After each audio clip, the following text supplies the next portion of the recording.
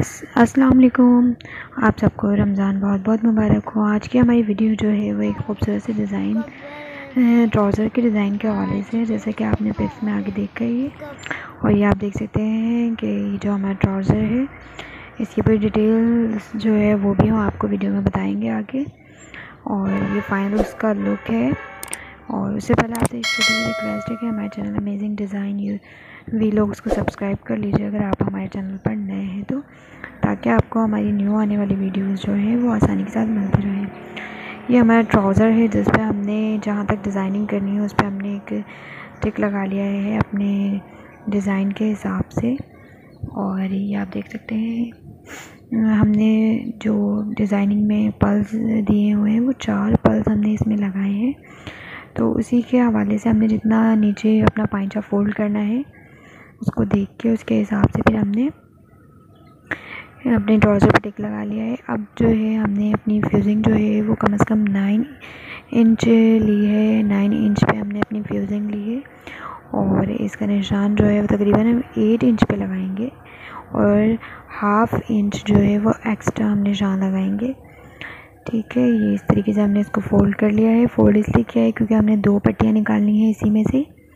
और इस पर भी हमने वो अपने, यानी कि एट इंच पे और एक्स्ट्रा हाफ़ इंच पे हमने निशान लगाया और ये हमने टू पॉइंट जो है, उस पर एक लाइन ड्रॉ कर लिया। अब इसको हमने सीधा इस तरीके से से पूरा सफ़ाई से बिल्कुल सीधी प्लेन जो है, वो एक लाइन ड्रॉ कर लेनी है और इसी लाइन को हमने कट कर लेना है।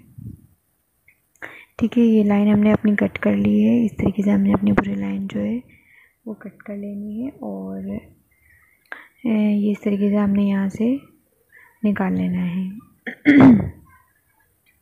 ये देख सकते हैं आप हमारी दोनों पट्टियाँ बन चुकी हैं। ये हमारे दोनों ट्राउज़र ये दोनों पाइन चुके हैं हमारे ट्राउज़र के। और इस तरीके से यहाँ से हमने इस तरह से कट करके एक शेप दे देना है। तो ये देख सकते हैं आप इस तरीके से हमारा जो है वो ये फ्यूज़ें हमारी कट हो चुकी है। और अब हम इसको प्रेस कर लेंगे। ये जो है इसकी हमने जो चौड़ाई एक्स्ट्रा हमने रखी है फ्यूज़िंग की, वो तकरीबन एक इंच के करीब रखी है, ठीक है?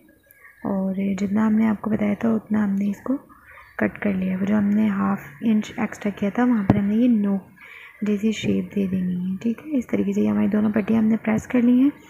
अब हम इसके साइड की जो है, वो सिलाई लगा लेंगे ताकि ठीक है? फिर हम इसको आपको लगा के दिखाएँगे कि किस तरीके से। अब यहाँ पर हमने अपने ट्राउज़र को सीधा बिछा लेना है, प्रेस कर लेनी है और उस प्रेस पे हमने जो है वो जहाँ तक अपनी ये पट्टी रखनी है, वहाँ पर हमने एक टिक लगा लिया है ताकि हमें सिलाई करने में कोई परेशानी ना हो और मैंने इसे पिन से सेट कर लिया है ताकि बिल्कुल भी हमारा पजामा जो है वो ख़राब ना हो और आराम से इसमें हम जो है स्टिच कर लें। और ये इस तरीके से हमने पूरे अपने ट्राउज़र पे सिलाई लगा लेनी है। पूरी जो है, आगे फिनिशिंग के साथ हमने ये जो नोक बनाई है, ये हमने इसको बिल्कुल फिनिशिंग के साथ बना लेनी है और इस तरीके से हमने इसको टर्न कर लेना है। और दूसरी साइड को भी हमने इसी तरीके से सी लेना है और ये हमारी सिलाई जो है वो हो जाएगी कंप्लीट और ध्यान रखिए कि बिल्कुल आपकी कोशिश कीजिएगा कि बिल्कुल सीधी सिलाई आए, वरना आपकी जो है वो फिनिशिंग नहीं आएगी ट्राउज़र में। ये जो है हमने यहाँ से कट कर लिया है। कट करने के बाद जो है हम बीच सेंटर से इसको सिलाई को छोड़कर हम बीच सेंटर से इसको कट कर लेंगे और इसकी जो नोक है वहाँ पर हम छोटे छोटे से टिक लगा लेंगे इस तरीके से, ताकि जब हम इसको फ़ोल्ड करें तो हमारा बिल्कुल सफ़ाई के साथ हमारा ट्राउज़र फ़ोल्ड हो जाए और इस तरीके से हमने जो इसको फ़ोल्ड कर लिया है, ये देख सकते हैं आप इस तरीके से ये नोक बन के आ जाएगी। अब हम इसको प्रेस करके अच्छे से बैठा लेंगे। और फिर हम इस पर एक सिलाई लगा लेंगे। देख सकते हैं, अब हमने इसको प्रेस कर लिया है और अब हम इस पर सिलाई लगा लेते हैं। इस तरीके से हमने इस पर सिलाई लगा लेनी है अपने पूरे ट्राउज़र के पाइचों पे। बिल्कुल सफ़ाई से आपने सीना है इसको। ये देखें हमारी सिलाई जो है वो लग चुकी है। अब हमने इस तरीके से फ्यूजिंग जो है वो अपनी चिपका ली है, प्रेस बुकरम। तो इसको हमने चिपका लिया है और ये कम से कम हमारा नाइन इंच का है और इसकी चौड़ाई जो है वो कम से कम ढाई इंच की है।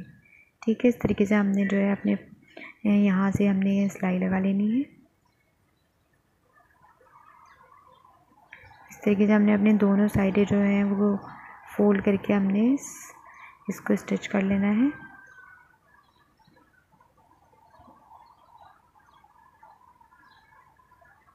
ये बहुत ही खूबसूरत लग रहा था पहनने के बाद। तो इसलिए आप, मैं आपको यही कहूँगी कि आप लोग ज़रूर ट्राई कीजिएगा और अगर आपको अच्छा लगे तो हमें कमेंट्स करके ज़रूर बताइएगा कि आपने किस तरीके से सिया और आपको कैसा लगा ये डिज़ाइन। अब ये हम अपनी दूसरी साइड भी इसी तरीके से कवर कर लेंगे पूरी। इसको भी हमने स्टिच कर लेना है।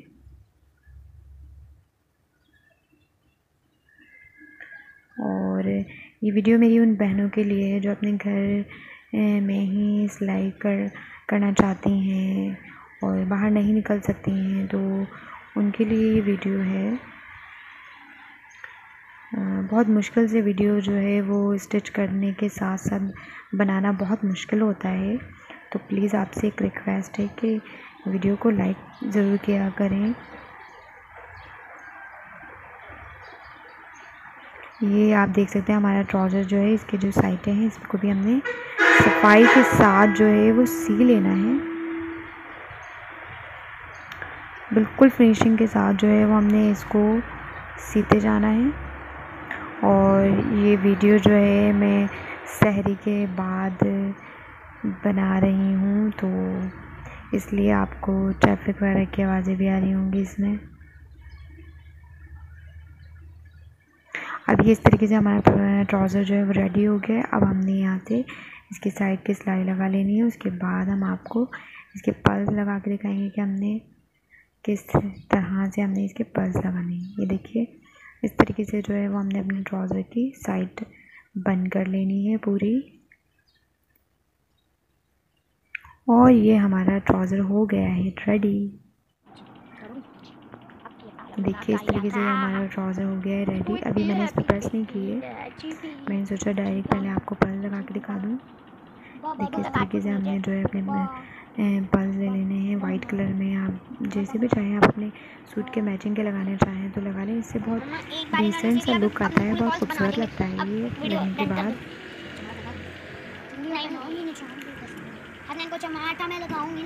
ये देखिए आप इस तरीके से हमने अपना पल्स जो है वो लगा लिया है। अब हमने अपने एक सेट कर लेना है कि कितने फासले से हमने अपने चारों पल्स लगाने हैं। तो आप भी देख सकते हैं इस तरीके से आप अपने हिसाब से इन्हें लगा सकते हो और नीचे से इसको बिल्कुल खुला छोड़ देंगे इनके पाइचों से। आप चाहें तो पाइचों की चौड़ाई कम भी रख सकते हैं। ये इसका फाइनल लुक है। अगर वीडियो पसंद आए तो वीडियो को ज़रूर लाइक कीजिएगा और मज़ीद अच्छी वीडियो देखने के लिए चैनल को सब्सक्राइब भी कर दीजिएगा। और ये रमज़ानों में अभी फिर से शायद लॉकडाउन लगने का है तो आप लोग सब दुआ ज़रूर कीजिएगा सबके लिए। और ये मेरी एक छोटी सी कोशिश है सिलाई जो है वो मैं आप लोग को दिखा सकूँ डिज़ाइनिंग के हवाले से। तो अगर वीडियो आप लोग को पसंद आए तो प्लीज़ ज़रूर वीडियो को लाइक ज़रूर कीजिएगा। और अगर आप मेरे चैनल पे नए हैं तो इसे सब्सक्राइब करके मुझे सपोर्ट ज़रूर कीजिएगा। तो मिलते हैं नेक्स्ट वीडियो में। अपना बहुत ज़्यादा ख्याल रखिएगा। दुआओं में याद रखिएगा, क्योंकि दुआएँ जो हैं, वो हर एक से करवानी चाहिए। क्योंकि कोई नहीं जानता कि किसकी दुआ आपके हक़ में बेहतर हो जाए और किसकी दुआ आपके लिए बहुत काम आए। तो मिलते हैं नेक्स्ट वीडियो में। अल्लाह हाफिज़।